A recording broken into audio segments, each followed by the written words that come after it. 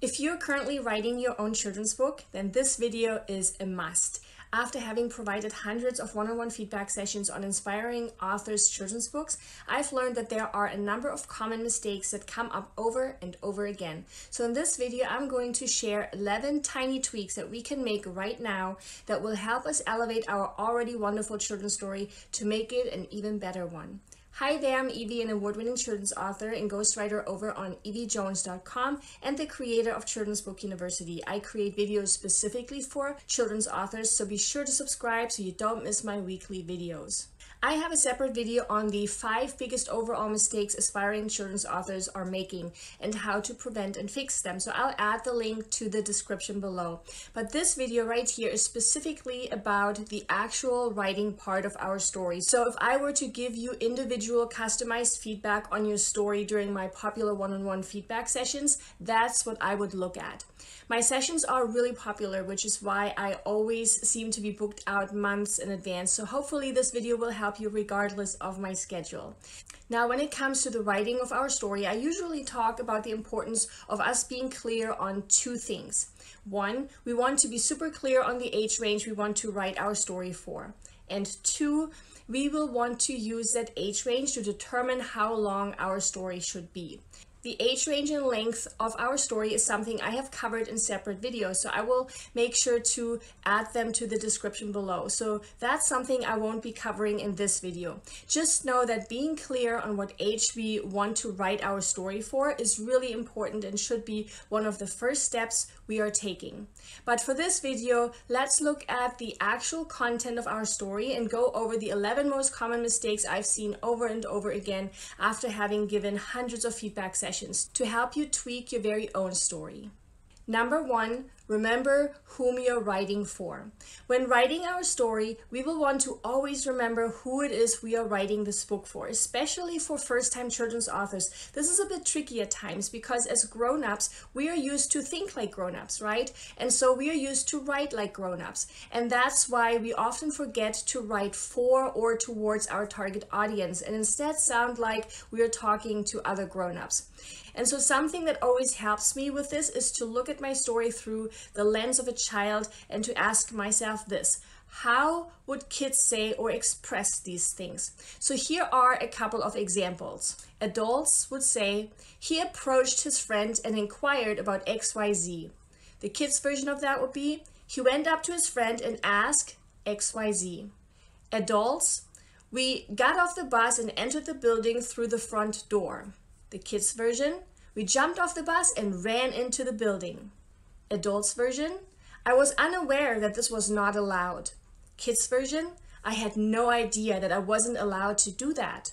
So in general, the way kids say things is just a lot less formal and a lot more relaxed. So always try to remember to consider how kids might say certain things by looking at things from a child's perspective. Number two, consider using dialogue. Instead of telling us what your book's characters are saying or thinking, consider letting them do the actual talking, whether that's in the form of a monologue, dialogue, or thoughts. Because using dialogue gives us an opportunity to weave in the language kids are using. And this in turn makes a story a lot more dynamic and also allows the reader to really get to know a character. So here's a great example. The original text reads, I told my best friend Kyle about the conversation I just had. The suggested text with the dialogue would read something like this. You won't believe what just happened, I blurted out as soon as I saw my best friend Kyle. Both texts express the same or something similar, right? But the suggested text that contains actual dialogue is a lot more dynamic. And the reason it feels more dynamic is A, because we are using language that kids would be using when they are talking to each other, and B, because we're using action words that help us convey how the one that does the talking is feeling that very moment. And that really helps us draw the reader in a lot more. And that leads to my next point on how we can make our story even better. Number three, changing up the intro of our dialogue. Now, what do I mean by that? Whenever we have someone say something in our story, we will have to lead up to it, right? Before I can write what a character is saying, I first have to prepare my readers by letting them know that my character is about to say something. And the most common way to do that is by preceding whatever is being said with something like this. Sarah said, this looks great. Or Grandpa said, it's really cold. Or we add the said part after what has been said. This looks great, Sarah said. It's really cold, Grandpa said. Now, what often happens, more often than not, especially for new authors, is that they use the same action word over and over again, meaning the only way they ever introduce whatever is being said is by using the word said. And because this truly happens so often, I actually sat down and created what I call my proprietary Eevi's Weaving Dialogue method a few years ago that provides us authors with different ways of leading up to whatever is being said. So let's say Peter is about to say something. And instead of simply saying Peter said over and over again, here are some great alternatives. Peter asked, Peter whispered, Peter responded, Peter replied, Peter shared, Peter laughed, and so many more. And so using different action words here is great because besides changing up our language, we're also letting our readers know how our character might be saying whatever they are saying. By using situation specific words, we can share how the character might be feeling. And to take that even further, my proprietary weaving dialogue method adds words that help describe the action words even more by making use of adverbs. And so we can say, Peter said quietly, or Peter asked quickly, or Peter whispered softly. And so by using my weaving dialogue method, we have so many new and fresh options that can really help us make our story even more dynamic and colorful. And looking at my table right here, we can really create our own options by mixing and matching the second column with the third column. Number four, changing up the way we start sentences. Unless we're doing so for emphasis, we will want to make sure that our sentences vary in how they begin. Especially with consecutive sentences, we will want to see different beginnings. That's something that happens all the time and that I have to point out all the time as well. But it's such an easy and quick fix and it's something we can really train our brain to recognize. For example, in my weekly Sunday email where I share additional tips regarding children's books, I always make sure consecutive sentences don't begin with the same word. So let's look at an example and two tweaks we can use to make the beginnings of our sentences vary a bit. So here is the example. Wendy went into the house Wendy opened the box with a pair of scissors. So right now, these consecutive sentences begin with the same word, which is Wendy. To change it up a bit, here's option number one, replacing the name with a pronoun. Wendy went into the house. She opened the box with a pair of scissors. Again, this is such a quick and easy fix, but the thing is that we can only fix it if we are aware of this and if we pay attention to this. And the option number two we can use to fix it is to change the order or sentence structure. Wendy went into the house. Using a pair of scissors, she opened the box. So here we simply change the order of that second sentence by moving the second part of it to the front. The main ninja tip I can give here is to simply pay attention to and be aware of the beginnings of our sentences. Try changing it up if you have two consecutive sentences that start the same way, and most definitely change it up if you have three consecutive sentences that begin the same way. So my challenge for this particular tweak would be to go back to your story and intentionally look for consecutive sentences that start the same way. Even if you believe you don't have any, just give it a go. Number five, using more colorful language. When it comes to writing children's books, the more colorful our language and description, the better. So for example, instead of simply saying Mary held a bag of candy, for example, we could go all out and actually list what type of candies are in Mary's bag. So here we could say something like this. Mary held a bag that was filled with the most delicious candy, caramel-filled candy pops, sweet lemon drops, rainbow-colored lollipops, and chocolate-covered marshmallows. Describing Mary's candy this way makes this a lot more interesting and engaging, really getting our little reader's mind going. And you can add color like this to any type of situation. Maybe you want to share that a truck is driving down the road. So we could ask ourselves, how is this truck driving down the road? We can even consider our different senses. What do we hear? What do we feel? What do we smell? If it adds depth and color to our story, perhaps we could say something like this. So here's the original sentence. The truck drove down the road. And now the more colorful sentence. The heavy truck's engine roared as it bumped down the road. Number six, using the same tense throughout our story. Now, this one is a big one and something that happens all the time, especially if we have never written a book before. So, we really want to pay attention to this one.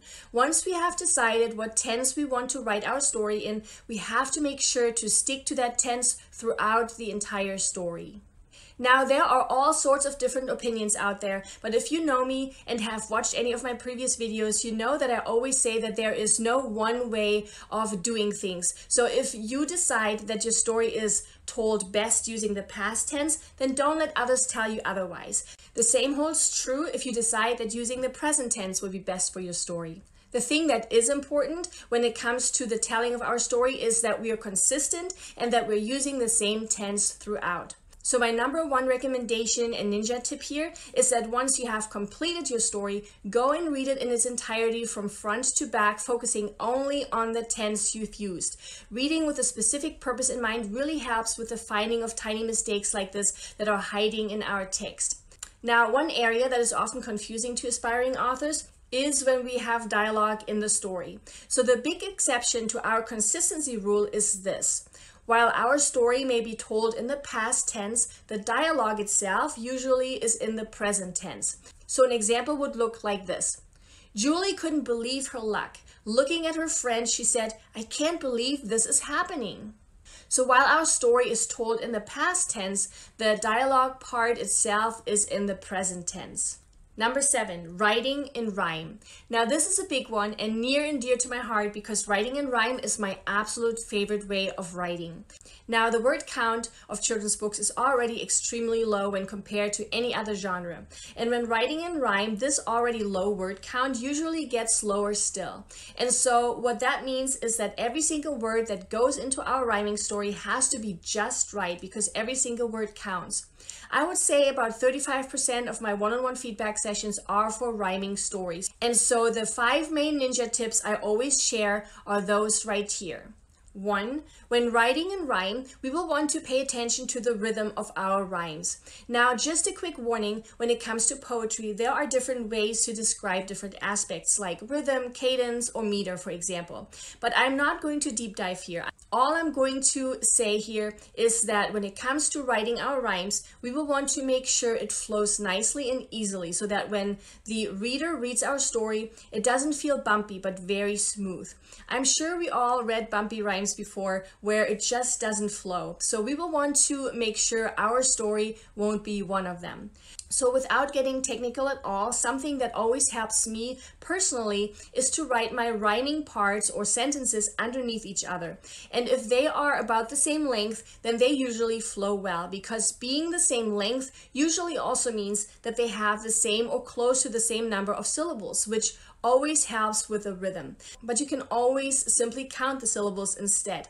So here are two examples from the beautiful book Giraffes Can't Dance by Giles Andreae, where the number in the parentheses indicates the number of syllables on that line. Gerald swallowed bravely as he walked toward the floor, but the lions saw him coming and they soon began to roar. So they have 13 and 14 syllables while also being about the same length. Here's another example. Then he found a little clearing and he looked up at the sky. The moon can be so beautiful, he whispered with a sigh. And again, we have 15 and 14 and very close. So if your lines are about the same length and have about the same number of syllables, then we usually have a good rhythm going. There are, of course, exceptions, but that's usually the more general guideline I use when I'm writing simple rhymes. Two, not every rhyme has to be a true rhyme, like mice, twice, nice, rice, or street, meet, fleet. Near rhymes are a great option as well, like meet, east, or dog, walk. But if possible, we do want to try to keep true rhymes the main type of rhymes. And the number one tool I use for this all the time is rhymezone.com. And the reason I love it is because it has an actual near rhyme option I can select in its drop down menu. Three, once we have established a pattern or scheme for our individual verses or stanzas, we will want to try to stick to that pattern. For example, the lines from the book Giraffes Can't Dance, the way they appear in the book follow the simple four-line rhyme pattern where the rhyme scheme can be described as A, B, C, B, where lines A and C don't rhyme, and the B lines rhyme. Gerald swallowed bravely as he walked toward the floor. But the lions saw him coming, and they soon began to roar. So we generally don't want to break that established pattern. But of course, there are always exceptions. For example, we may decide to break that pattern if we want to really emphasize a certain point in our story. But when we break that pattern, we should only do so intentionally, not because we didn't realize that we had a pattern to begin with. Four, we should never settle for a rhyme and we shouldn't just use filler words because we can't come up with a better rhyme. So for example, if you have something like this, his favorite month each year was May because the sun was shining. So he said, hey, that's a really silly example, but something I see all the time. I can tell right away when something was simply added to the story because the author had a hard time finding a good rhyme. So what we can do here instead is either one, take a break and get back to that particular part in our story later. Or two, if we really want to keep the same words, we could try changing the order of the words. So we have a different word at the end of the line so we can try to find a better rhyme for that new word. Or three, if we don't mind changing the words, we can use a tool like the good old thesaurus and try to find a different word that means the same thing, a synonym, right? And then try finding a rhyming word for the new word. So when writing in rhyme, be patient with yourself in the process. Don't force it and don't settle. And ninja tip number five when it comes to writing in rhyme is to show the reader how to read your rhyme. This is another interesting one that I see so, so often, yet I've never ever seen anyone address this before. As a reader, it's not fun having to figure out how the lines of a story are supposed to be read so they rhyme. And so what we as authors can do is display our lines the way they are meant to be read. So again, let's take an example from Giraffes Can't Dance with these lines right here slightly rearranged. Then one by one each, Animal who'd been there at the dance arrived while Gerald boogied on and watched him quite entranced.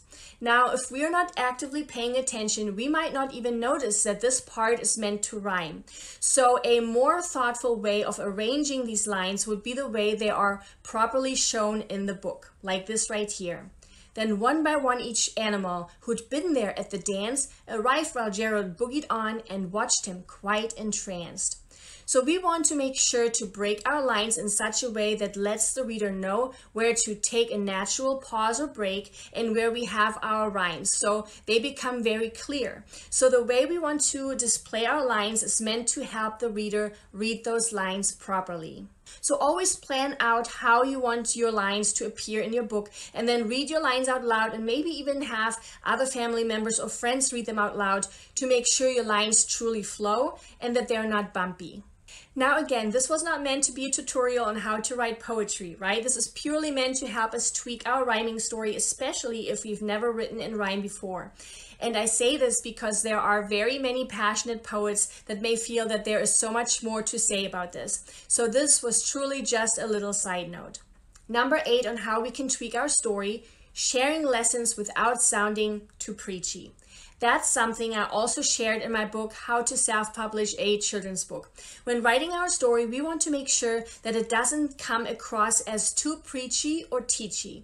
Sharing an important value like kindness and patience and being ourselves is really important. And we want to share these values in such a way that it's beautifully woven into our story because kids can often smell a hidden agenda from a mile away. A wonderful example is again Giraffes Can't Dance, where kids learn through this beautiful story that it's okay to be different and that we shouldn't listen to others when they want to tell us that we can and can't do something. And while little readers will walk away with this shared message, nowhere in the book is it spelled out or stated that way. Instead, it is woven into the story itself, and those types of stories are always the best ones. Okay, number nine, to help us tweak our story, is to begin our story with a hook. The way we begin our story can be so powerful, and because children's books are usually so short, it's often best to jump right into the story without the setting of the scene. What we essentially want to accomplish with the way we write our beginning is to hook the reader right away. We want them to wonder right away what's next or what happened. So when looking at your story's beginning, try to see if it would intrigue you enough so that you would want to continue reading the story. And to show you what I mean, I wanted to share a couple of beginnings right here. That's the gum right there that you got in your hair. This is from an account of the gum by Adam Rex. There is no mention of where the gum came from or how it was unwrapped or whose gum it was. We may learn this later on in the story, but as for the beginning, we are jumping right in. If you give a moose a muffin, this is from the book If You Give a Moose a Muffin by Laura Numeroff. Here we too jump right into the story. We don't know where we are. We don't know where the moose came from. We don't even know who is doing the muffin giving, right? We jump right in. Slow down, Isabella, the father said. Those books aren't going anywhere. This is from Isabella, Star of the Story by Jennifer Fosberry. This one is so great as well. Here the reader might instantly wonder what books this dad is talking about and why Isabella is running. So if this first line gets the reader curious and gets the reader wanting to know more, then this line has achieved its goal. That's exactly what we want our first line to do. The number 10 tweak to help us with our story is to create a memorable ending. Now this one is humongously important, so much so that I actually created a separate video on how to create the best ending for our children's book a while back. Because the number one thing we want to achieve with our ending is to make it memorable and fulfilling, so that kids and us grown-ups who are reading books to our little ones will want to read it over and over again. So I will make sure to link to that video in the description below. Just know that just like with the writing and rhyme, you don't want to rush it or force it. You want an ending that is just right. And something that I actually always do when I'm writing my own stories or those of my ghostwriting clients is that I often start the writing process with the end already in mind. That way I have something I can write towards, something that will guide me throughout the entire story. But again, I go into great detail in that separate video, so be sure to watch that as well because just like with a great vacation, if something doesn't feel right about the ending, if something goes wrong at the end of our vacation, even though the actual part of the vacation was amazing, it's usually the end that we still remember the most. So we will want to make sure our ending is really strong. And the last thing we can tweak about our story is number 11, the title. I talk quite often about the importance of having a great title and to use it strategically and be really smart about this. And that's because A, it's the title that will help potential buyers decide whether or not this book is about a topic they were looking for. And B, it's the title that will help us weave in keywords that in turn will help with our book's discoverability. The way we name our book is always very near and dear to our heart, right? So hopefully my perfect title formula videos will help you with the creation of your perfect title. I've added the link to the description below. So whether it's remembering our audience, considering using dialogue, changing up the intro of our dialogue, changing up the way we start our sentences, using more colorful language, making sure we are using the same tense throughout our story, following my five rhyming tips I shared with you, sharing lessons without sounding too preachy or teachy, beginning our story with a hook, ending our story with a truly memorable ending, and creating a strategic title for our magical children's book, I hope that these 11 tweaks will help elevate your beautiful story. In the end, things like the tense you write your story in or the rhyming scheme you choose for your book is entirely up to you. Having read thousands of successful children's books, I've come to realize that there simply is no one single right or wrong way of doing things. It always depends on the story we are telling, but it is my hope that with these shared tips, we can really make a difference because sometimes all it takes is one tiny tweak to make an already wonderful story an even better one. And you now have 11 such tweaks. I cannot wait to see where you will take your story with this. I really hope you found this video helpful. Please give it a thumbs up and subscribe if you haven't yet. It really encourages me to keep making free videos for you just like this one. Here's to the tweaking of your very own beautiful story. Bye! That's the gum right there. that you got there in your hair? No, that's the gum right there that you got in your hair. Yes. When writing our story, we want to make sure that it doesn't come across as too peachy or teachy. Pre- preachy. Preachy.